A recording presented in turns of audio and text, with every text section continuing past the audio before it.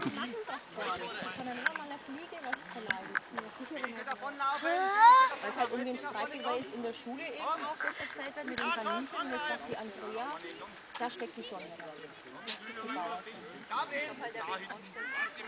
Ich habe gesagt, ich glaube nicht, dass der ihre Arme bis in die Schule rein.